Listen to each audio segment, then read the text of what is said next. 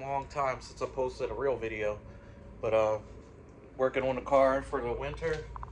There's one more track day. I'm not 100% sure if I'm gonna go to it or not, but um, today we're gonna drop a couple more pounds. I wanna make a carbon hatch. So I'm probably just gonna time lapse the actual carbon part because it's just gonna be like real repetitive layer, layer and layer and layer.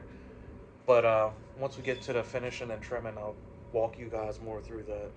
So right here I have my four layers of carbon already laid out.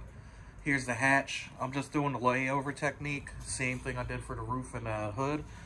Uh, basically, I clean this up really good. It's waxed like three times. And then it has a PVA on top of it that helps release the actual resin from the part. Uh, just put some little uh, silver foil tape over the holes. So basically, going to mix up the resin. I'll show you guys everything that I use and lay this carbon fiber down.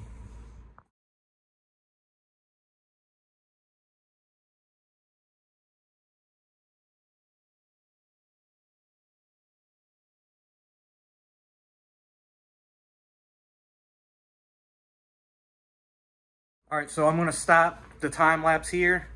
Uh, as you can see, I still need some more resin in these areas here. It looks pretty dry. Uh, a little bit up at the top, maybe a little bit here, but I have to mix some more up. Every time you see me leave the garage in the time lapse, I'm mixing up resin because if the resin gets too cold, it kind of gets like jelly and it doesn't want to uh, mix as well. So I'm doing that in the house. So I got the final layer on. This was actually one big piece, 60 by 60. And looks pretty decent. It's going to need to be trimmed up. But uh, I'm happy with it. It's about functionality, not looks for me. So this is the epoxy resin that I used. It's made by Venom Carbon. It's a two to one. And I got all the carbon fiber from Composite Envisions. Uh, both of these things were purchased off of eBay. I think the carbon fiber was 36 or 46 a yard and it was a gallon of resin for like 110 bucks. So if you need the links, just comment below. All right, so here's the carbon hatch. Uh, it's not done being layered with epoxy yet, but I kind of just want to cut the shape out. So I'm going to be using an oscillating tool with a wood, plastic, metal bit. Basically, I'm just going to come around the edges like this and cut all the way around. Uh, just to have to be careful right here where this rubber is. And once we get that all the way around, we'll finish epoxy on the other side. When you do this, please make sure you wear long sleeve gloves and some kind of breathing protection because you don't want to be breathing in the little shards of carbon fiber dust. I just want to take a second to show you how well this tool cuts. You look at those lines, pretty good. I usually go back with a sander and just clean up these little edges like that. But here's the back side. All right, so it's been a couple days since I cut it. I just washed most of the dust off of it. I probably shouldn't have removed it and cut it yet. Should have went straight into putting a thicker layer of epoxy on it. Uh, but you live and you learn. This is my third part. So don't want to start over because it's expensive to throw away. And I really don't care how it looks. I just want the functionality of it. But when I demolded it from the hatch, uh, right here had some stress cracks in the resin. Uh, I went around and did a thick layer of epoxy around the edges, not super thick, but I wanted the edges to stick down real good. So I started getting stress cracks here because it wasn't thick enough. All this here is still textured. Um, you can see some of the stress cracks along here, right in here. This back flat part, like the hatch, that would normally be the color of the car, has a pretty good layer of epoxy on it because this is what was left in the cup. So the top and the side does.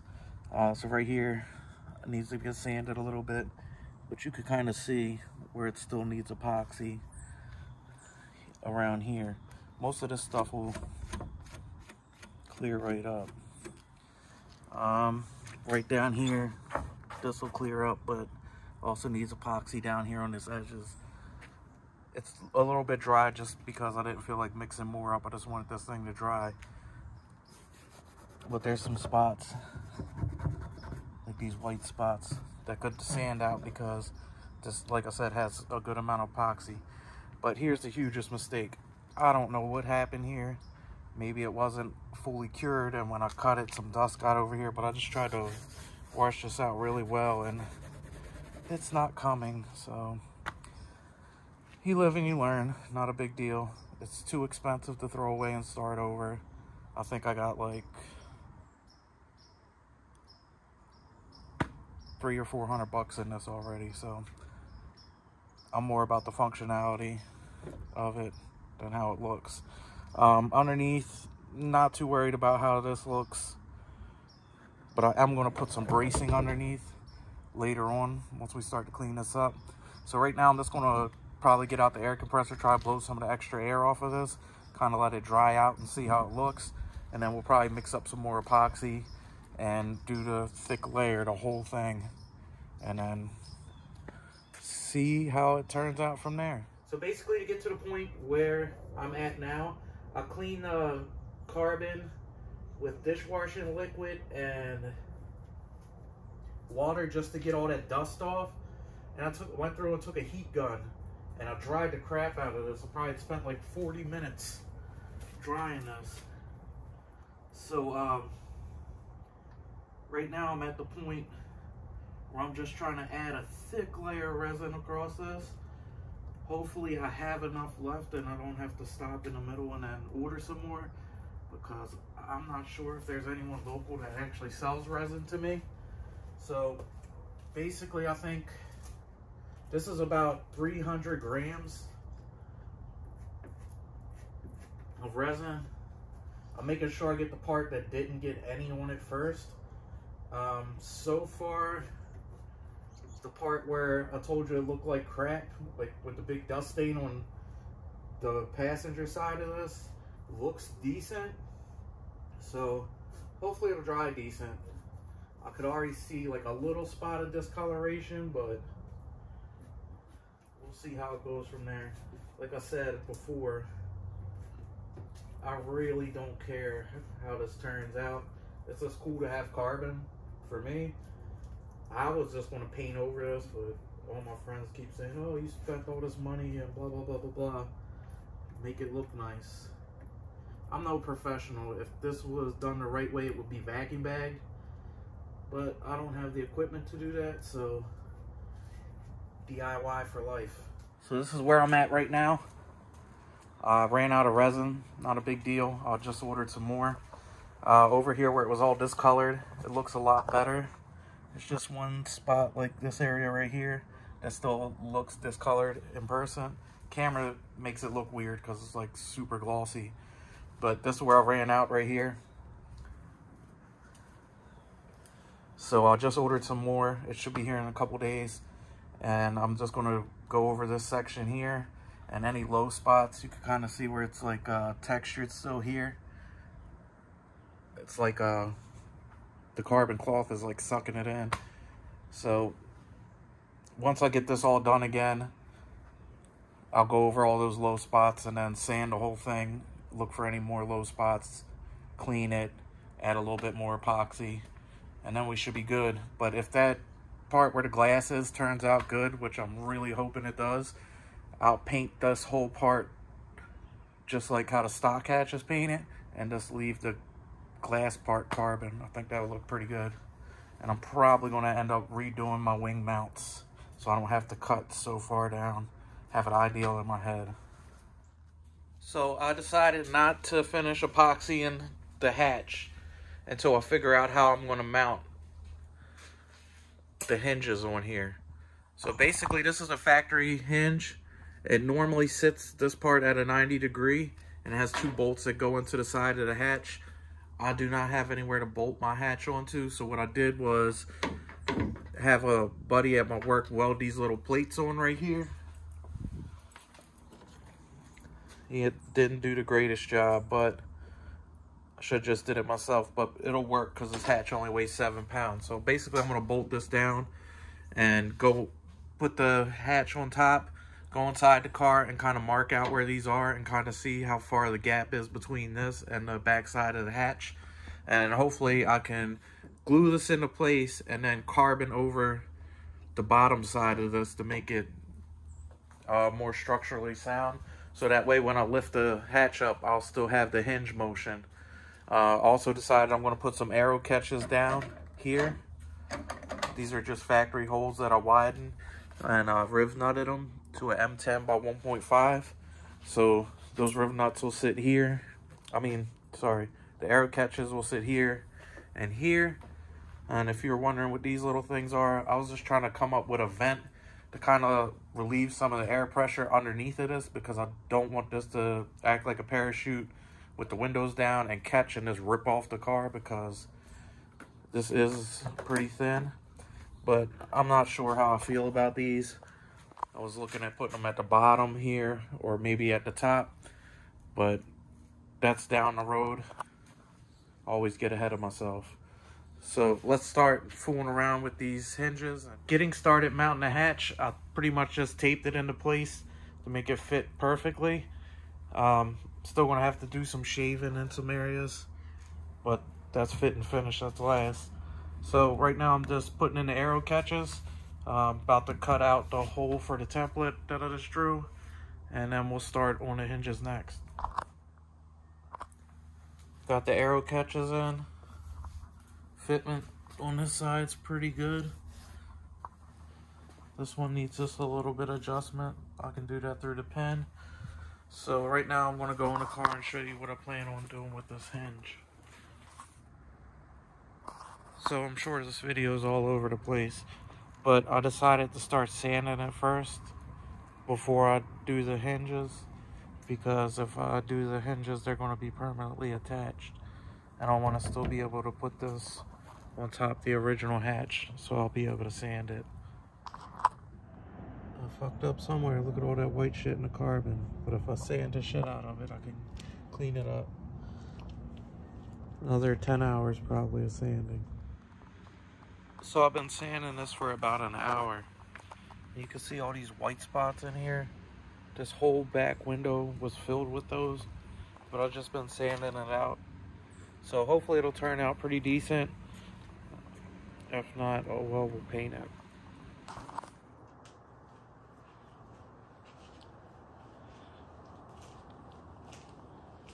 It's getting there.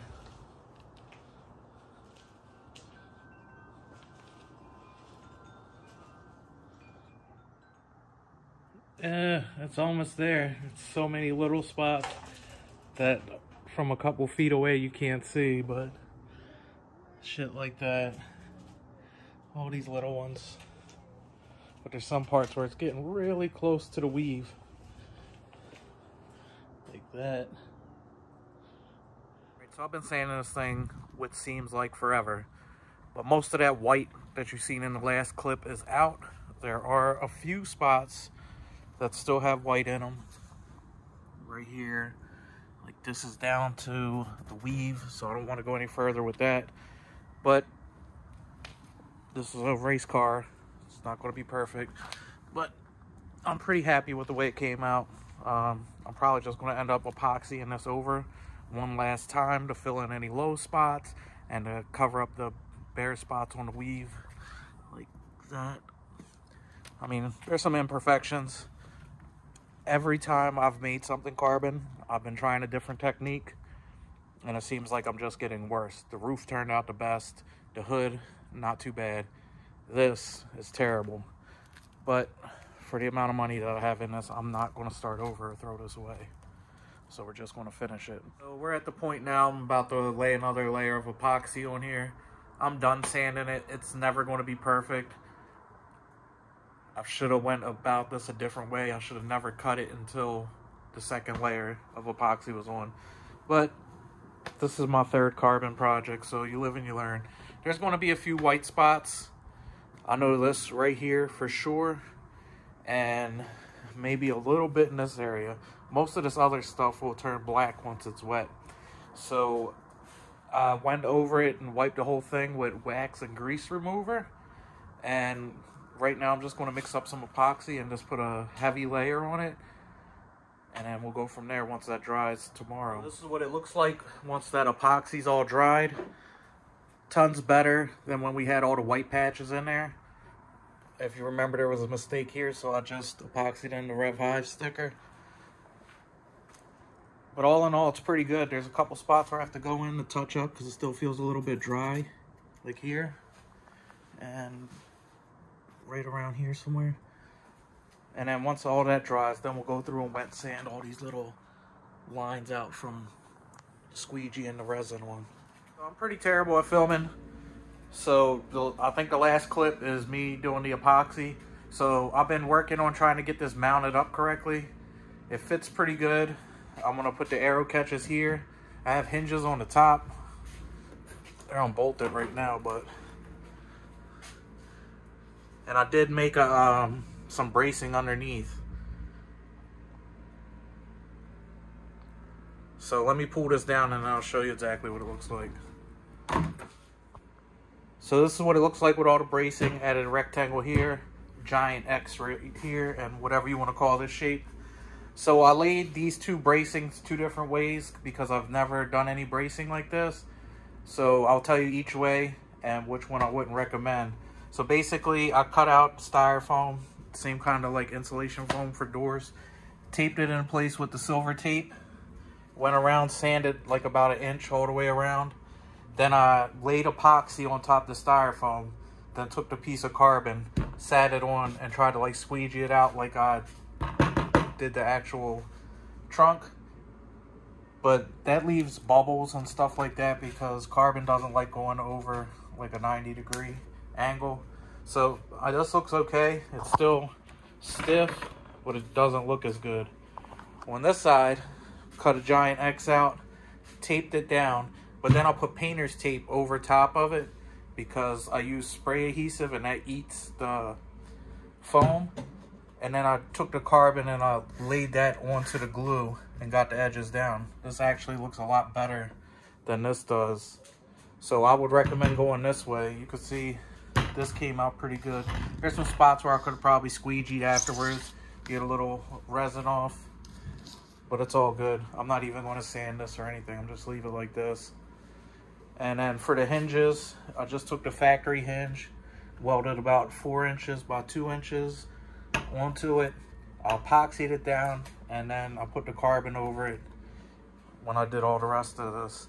So right now, these hinges don't sit flush, you could see that. So I'm gonna probably tape around the edge and then put epoxy underneath of there so I'll get a good bond and it won't be as flexible. Alright, so now I just cleaned up the back of this and I laid down some clear coat. This isn't the clear coat I'm going to use on the other side, but this is just some cheap Walmart clear that doesn't yellow.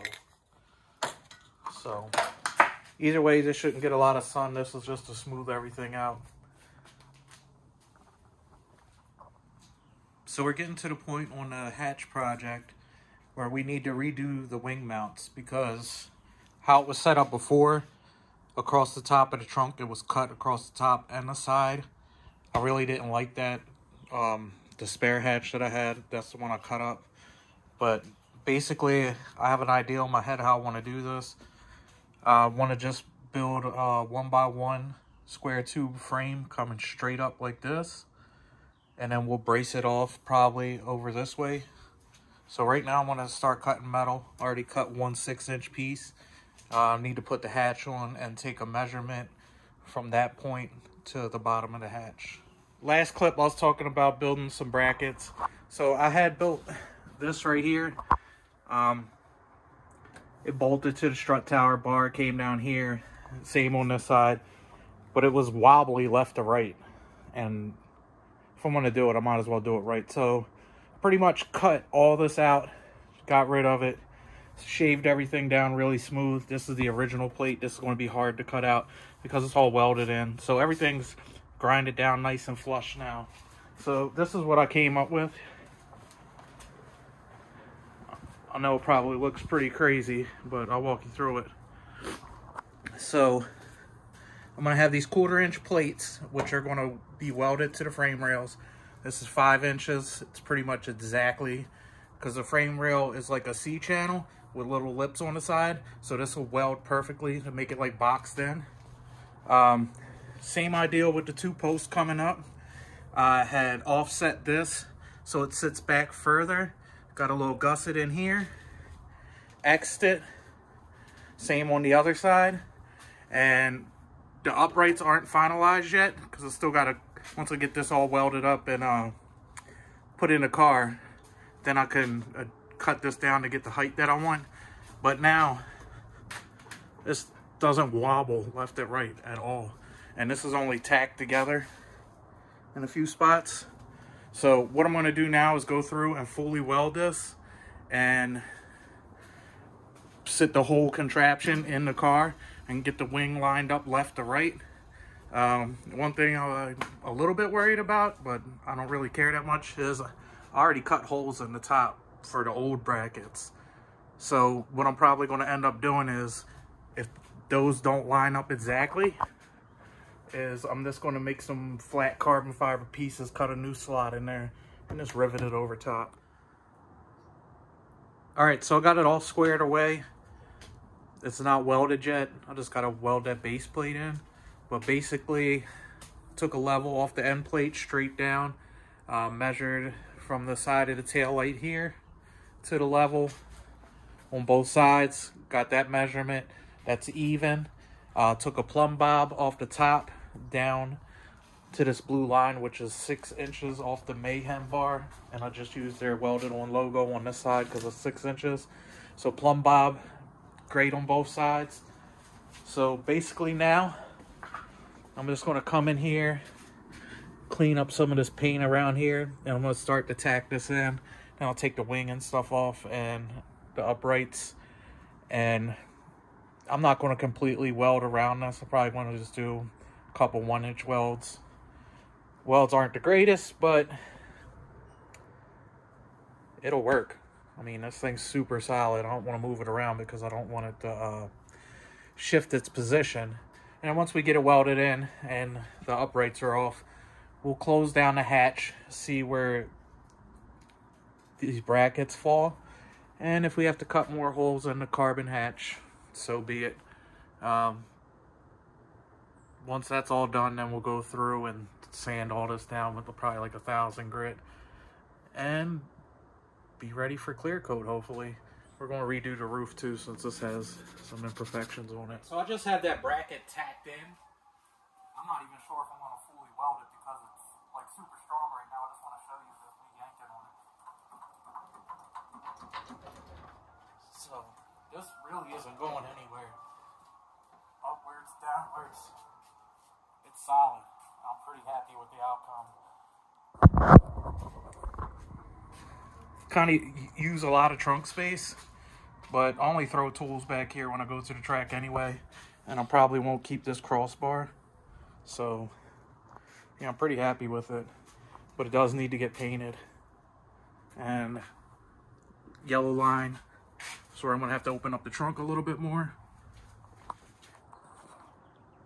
So this is what it's roughly going to look like with the wing. I still have to cut it, cut it down a few inches, but everything fits pretty good. Like I said, I want to make some plates to fix this. I should never cut it first, but whatever. It's not a big deal. Um, air latches, or air catches, sorry. And then I added this uh, button down here to, to kind of put, pull it in. The back bolt's not tight. But yeah, everything lines up pretty good. Wings on here good. Does rock. Let me see if I can back and forth a little bit. I'll probably just add a couple more welds. That'll probably tighten it up. But left to right, nothing. So I'm pretty happy with the way it's coming out so far. I'm going to pack it up for today. Um, pick up the camera tomorrow once I cut down the wing mounts. And hopefully we'll be good. And I can wrap this video up. I made my patches. and uh, carbon fiber piece for the exhaust. So ever since I moved, I've been pretty much terrible at making videos, and it's because I have a garage now, and I don't have to have the car back together in one day, like when I was doing the videos consistently. But uh, pretty much after that epoxy coat and I did the bracing underneath, I went ahead and built a whole bracketry system for the uh, chassis mount wing. I did cut the holes kind of wide, so I added these little plates on here. If you can see that. But then I went ahead and sanded it with 180, 220, 3 something. I pretty much worked my way all the way up to a thousand. So we're pretty much going to lay down some clear right now. Just got to go over it with some bug and tar remover or wax and tar remover just to clean everything up, make sure there's no contamination. And we'll close the garage door up, put this exhaust fan on, and use the 2K clear. And then we'll see how it looks from there. So after I cleared it, doesn't look too bad. Kind of looks a little streaky because I just wiped it down because it had tons of pollen on it. But most of that white stuff is pretty much gone. I'm pretty happy with the outcome. I know it took me forever to drop this video. I probably had this footage for like four months. Making this hatch wasn't too hard. Super time consuming the way I do it. I'm sure there's other techniques that allow you to get this done much faster. I've been sitting on this footage for months. Uh, but I guess it's time to start trying to make videos again. I got some stuff coming up that I want to make videos for. But um, everything's pretty good. Little patches for the holes turned out all right. Everything's pretty solid. Nothing flexes in the middle. So I'm pretty happy with it. The wing stout shakes the whole car when you pull on it. So if you guys have any questions about this, feel free to leave them down at the bottom and I'll definitely try to get back to you. Or if you need to know where I got any epoxy or anything from, just let me know. And if you do, shoot me some messages on Instagram. Let me see your carbon fiber projects. But until next time, like, comment, subscribe, and I'll catch you guys in the next one.